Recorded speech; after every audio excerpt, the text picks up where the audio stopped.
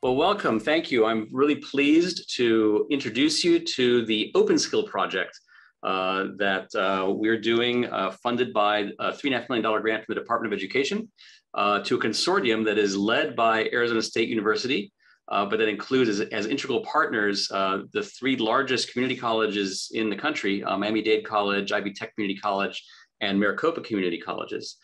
Um, and this is a team that's come together to try to really help transform the OER landscape, um, uh, especially around workforce development and skills development. What we're doing in this project is developing OER tools that promote active learning that implicitly teach essential skills. And these tools are available now to use in any discipline, in any LMS, or to bundle with content packages that we're creating that can replace entire textbooks. What we're going to do uh, in the next 20 minutes or so is uh, give you an overview of why OpenSkill, why we're doing what we're doing, and then give you a look at the tools and the content packages, and then talk to you about um, co-development at scale with our partners who are here, and then answer any questions that you might have. So first of all, let's talk about why OpenSkill. So the Department of Education was very interested in expanding adoption of open education resources. That's the reason that uh, we were funded and the reason for this whole program. And as we analyze the barriers to adoption, what is it that's keeping more faculty from using OER? We took a look at this, uh, this uh, well-known survey and found that uh, uh, one of the major reasons, one of the major barriers to adoption is a perception that OER is often not high quality. And so what we wanted to do is focus on improving the quality of OER offerings, um, provide a pathway to, to, to, take conventional OER and make it higher quality in order to make it more appealing for more faculty to adopt. So our, our theory of change is pretty simple, that by improving the quality of OER, we will expand the use of OER. And in doing so, we'll meet the two goals that the Department of Education really has. One is to save students money, by uh, having students use open education resources instead of expensive textbooks, um, and to improve student outcomes by having higher quality uh, learning materials lead to, to higher quality student outcomes. Um, and you're going to see in a few minutes how we're doing that exactly as a focus for this, though, one of the things that we learned as we spoke to uh, uh, career counselors, workforce advisors, and faculty at, at, our community college partners is that there's already an abundance of OER materials that focus on content, that focus on, on disciplinary content in particular. What's lacking uh, is what the workforce really needs, which is uh, more learners, more students graduating who are trained in what we're calling essential skills. These are the skills needed for personal, academic, and vocational success. That's what workforce development really needs, uh, as much as, if not more so, than more content knowledge. And that's what it seemed to us as we looked at the landscape that the OER world really kind of lacked. And so the focus that we adopted as we asked ourselves, how can we best improve the quality of OER? The focus that we adopted is to focus on developing tools that can enhance essential skills that can be paired with content in many different disciplines. And so that's what you're going to see now. Thank you, Ariel. So now we'll take you into what are our resources, uh, how you can actually use them, and we'll try and do a short demonstration uh, of some of these. So in this project, we have developed what we're calling open skill tools. And each of these tools are designed, as you can see, to address specific uh, essential skills taken from a framework, uh, from numerous different um, frameworks. And so we have four tools available, chart it, review it, plan it, and tour it. And we will go a bit deeper on the chart it tool so I'll just quickly uh, reference and discuss some of the others. The Review It tool provides uh, the ability to build an assignment and allow students to review other students' work. And so developing uh, reading comprehension and critique and communication. The Plan It tool is very versatile. Essentially can be anything from a note-taking tool to a lab report or um, or a build your you know career path. Uh, so you can set different functionality, different levels of what you want students to be able to do, from just filling out bullet points uh, and tabs to building out a whole um, series of um, of different um, of different tabs and um, and kind of chunking up information. So the idea here is that students learn how to organize, visualize, and uh, and plan. The tour tour is a bit different to the others and provides an immersive uh, environment for students where they uh, move through a panoramic image, uh, which could be a uh, into a cell, or it could be a some geological location, uh, or even just a work environment to teach um, students how to interact in a social environment. Um, so, so very, so lots of flexibility. Instructors can build these, uh, and uh, and our team supports them, integrate it into their uh, LMSs, as we will see. So, one of these tools is the Chart It tool, and I will play a short video here to demonstrate uh, the functionality.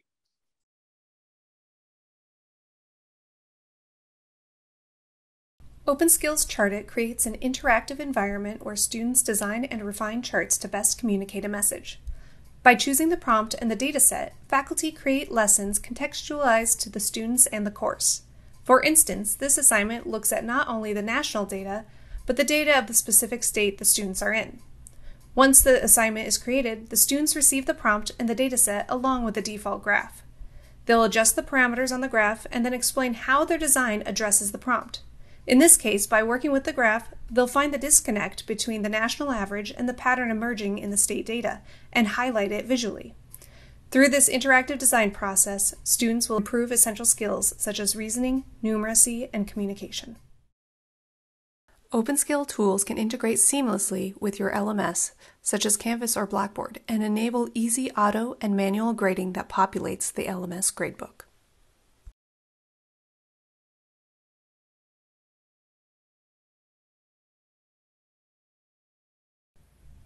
Review is an interactive tool where students anonymously review peer work with an easy-to-use interface and faculty-designed rubrics. Review is not just for written essays, but customizable for most assignments. It can even complement other OpenSkill tool assignments. In this example, students are writing a case study analysis in a biodiversity topic. Faculty customize a rubric with topic categories to help students give precise, effective feedback. Then students submit their assignments and critique their peers' work using the customized rubric and topic-linked comments. Review It emphasizes the importance of feedback by having peers not only assess the submitted work, but also the quality of the feedback. Through this process, students will improve essential skills like reading comprehension, critique, and communication. OpenSkill tools integrate seamlessly into LMSs such as Canvas or Blackboard, which enables easy auto and manual grading back to the LMS gradebook. And if faculty want to repeat the process for a second draft, faculty can easily create another cycle of review linked to the same assignment.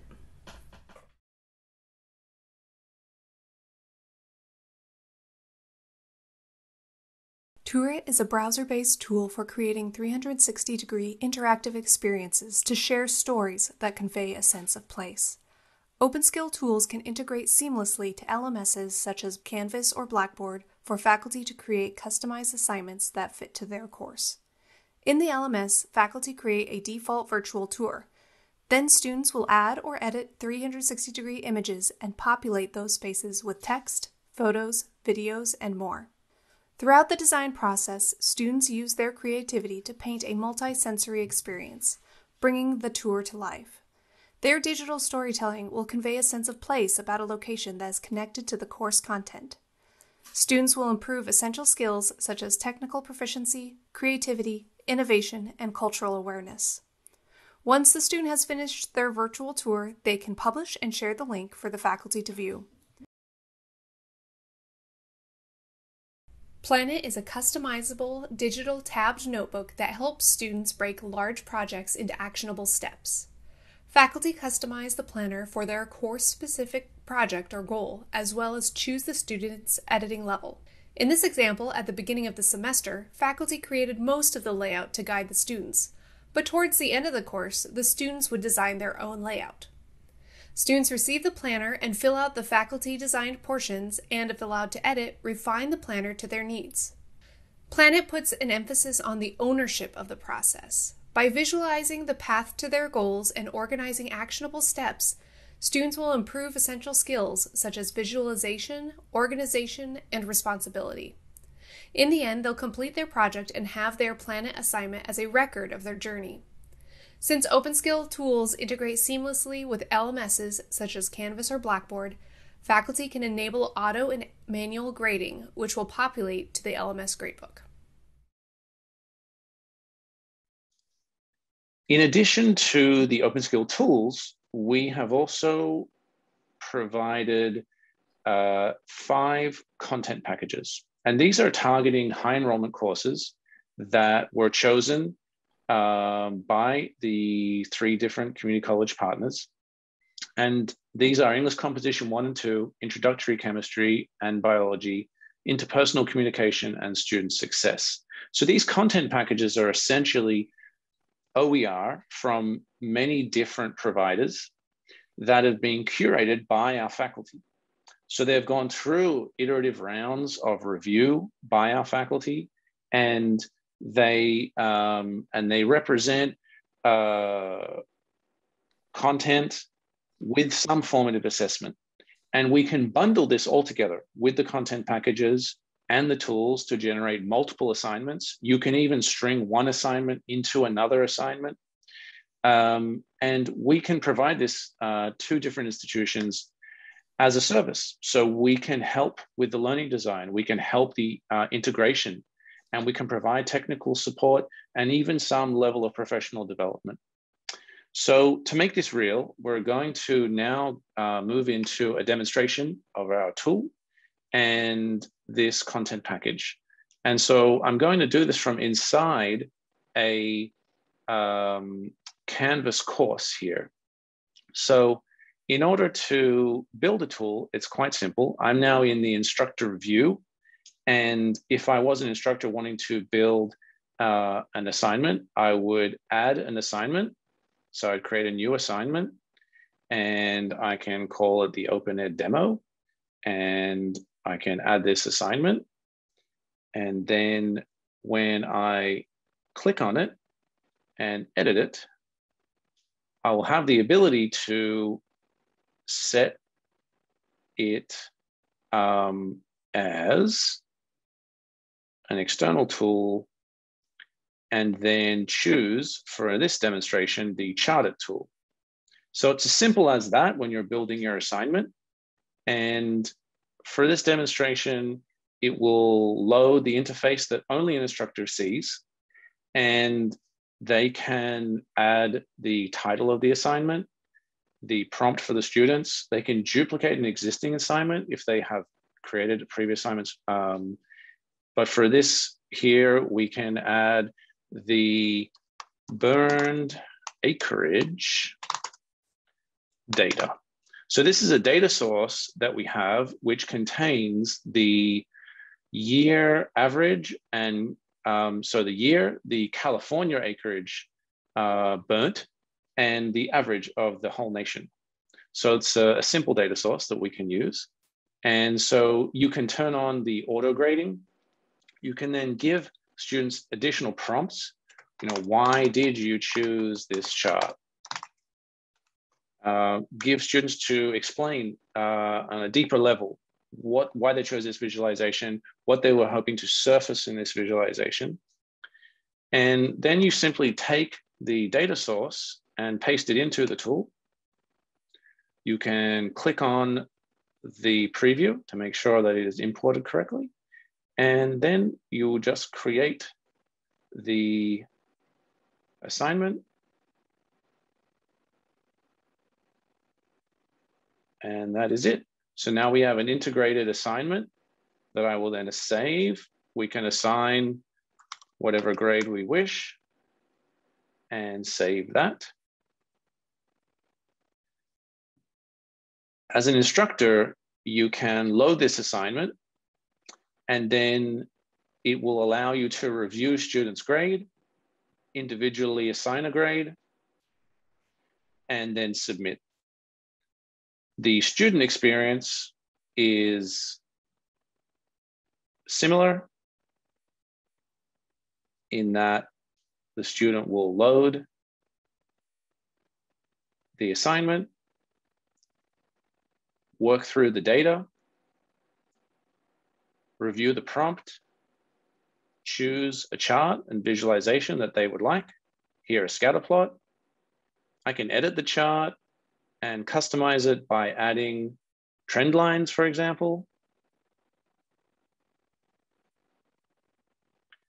And then submit a prompt and save my assignment or submit.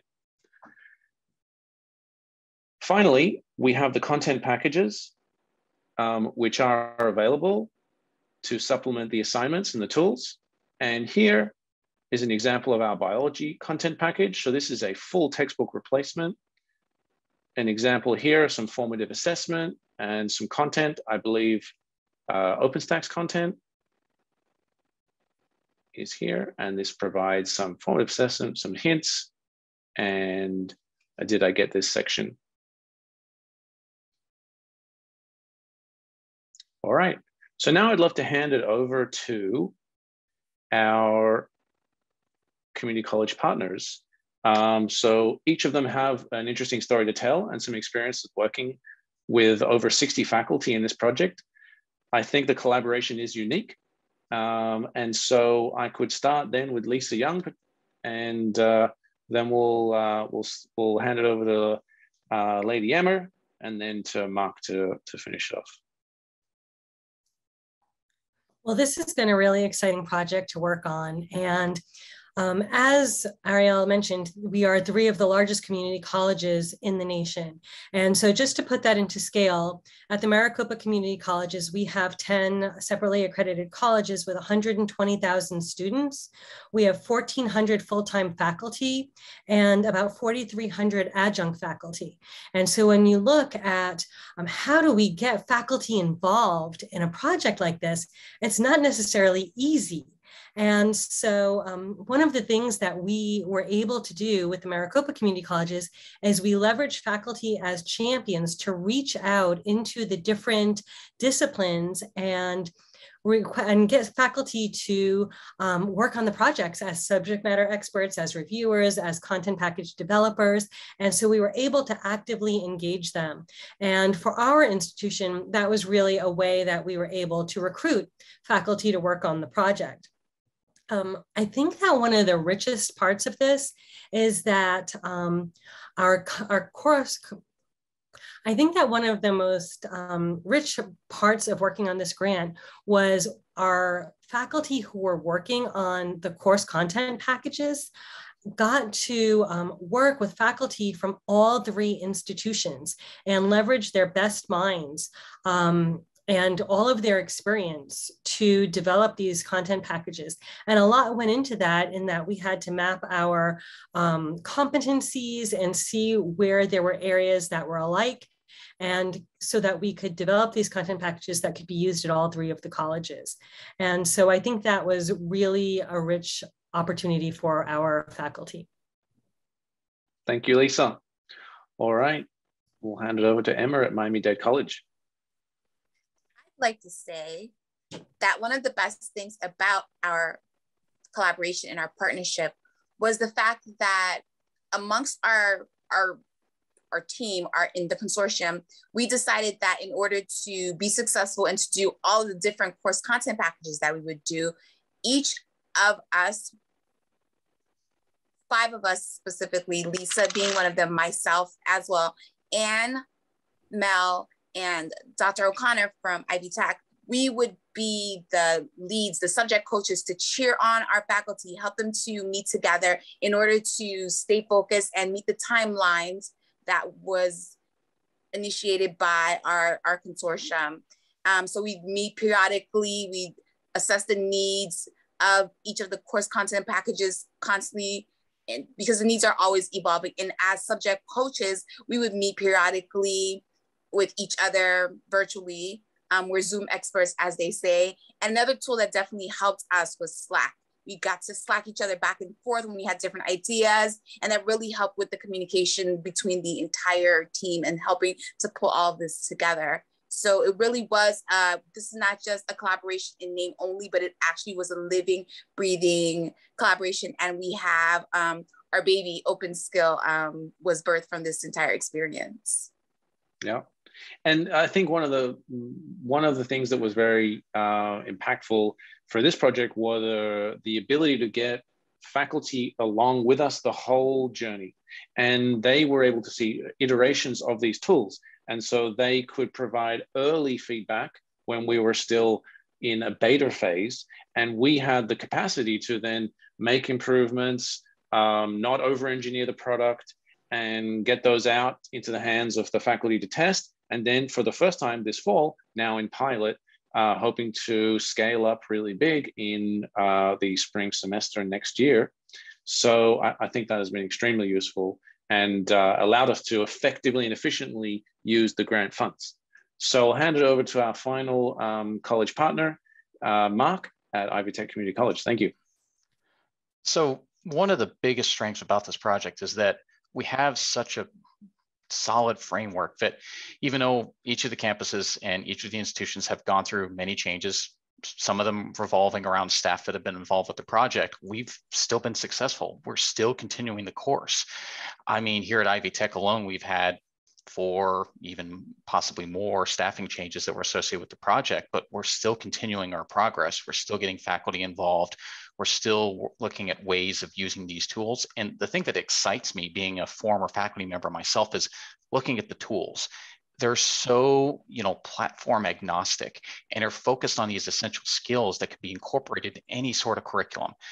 I taught computer networking in the past, and to me, I'm thinking about, oh, I could use Tor to work on a server, you know, um, stack, you know, where I could show students how to operate within the server room, or you know perhaps i even use it in geography course where i'm showing some ruins or some unique architecture and having the students go through that. So i i think the thing that i'm just so excited about is that we've got a great team working at each of these different institutions but also we've got a commitment to using quality tools to form quality oer that is faculty driven and student focused Great, thanks, Marc. Yeah, and, and none of this content um, is static. It never it never is. It will always be you know improving. And so as we scale, we hope to continuously bring back feedback from faculty, um, improve the content packages, uh, support more improvements in the tools, and they are actually an open source framework. So any developer can actually come and build upon these tools and take them into directions that we never imagined and build a completely new tool. So that will be one of the contributions that we're making out of this project that I think is really exciting once we start generating a community around you know new assignments and creative ways to use these tools and we start to surface them and um, and have them move out uh, in in the new year so with that uh, a few closing remarks and just to bring up our final uh, message here of what we're doing. Again, OER tools that promote active learning and implicitly teach essential skills. So available now. Uh, we can work with anyone that is interested in using these. We can give you access. You can try them out. Uh, we can support the bundling of these tools with content packages to uh, develop a textbook replacement with your institution. So that comes with some learning design support and technical support. And that is all part of the grant funds and it allows us to do that. So if you are interested, thank you. And uh, please get in touch. The website is openskillhub.org and you can email me directly at david.schonstein at inspark.education and we thank all the speakers today. Uh, hope to be uh, in contact with you soon and get this uh, OER out into the world.